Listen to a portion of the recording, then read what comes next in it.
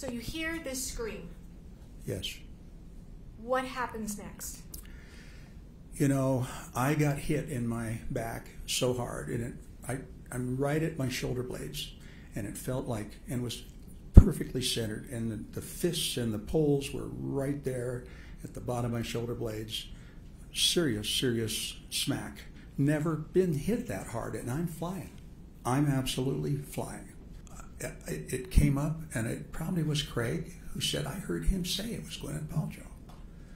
And to me, it's like, I'm not into celebrity worship, so um, I didn't care at that point. Did you think it was cool to collide with a celebrity? Absolutely not. That is not who I am. No.